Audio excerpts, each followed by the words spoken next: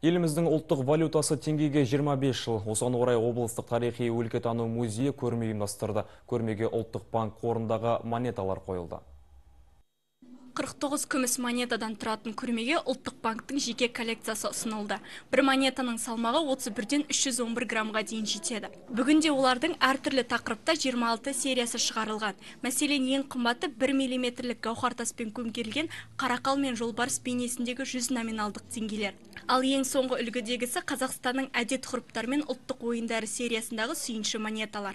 Бүгінгі көрмеге мынау Қазақстан Республикасы ұлттық банкінің күміс монеталар жиынтығы қойылып отыр әр кезеңде шығарылған әртүрлі кезеңде шығарған әртүрлі тақырыппен шығарылған монеталар жиынтығы мысалы айтатын болсақ ішінде жеңістің жетпіс жылдығы тұсында шығарылған монеталар бар және тәуелсіздігіміздің жиырма бес жылдығында сондай ақ халқымыздың әртүрлі салт дәстүріне байланысты қырқынан шығару тұсаукесер деп келетін түрлі монеталар жиынтығынан көрме ұйымдастырылып отыр. Бұл күні көпшілік назарына мерейтой құрметіне шығарылған теңгеге 25 жыл атты күміс монеталар ұсынылды.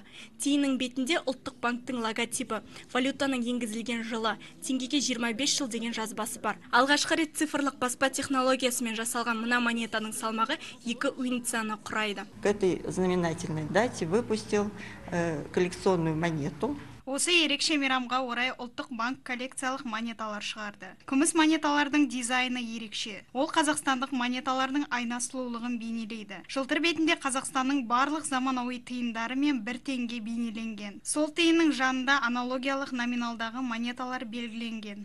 Мемлекеттің экономикалық тәуелсіздігін көрсететін басты белгілерінің бірі осы төл валютамыз. Ел тарихындағы тағдырлы сәтте дүниеге келген теңге ширек ғасырға жуық уақыт ішінде қазақстанның дербес қажылық экономикалық жүйесін қалыптастыруға негіз қалады десек артық айтқандық емес.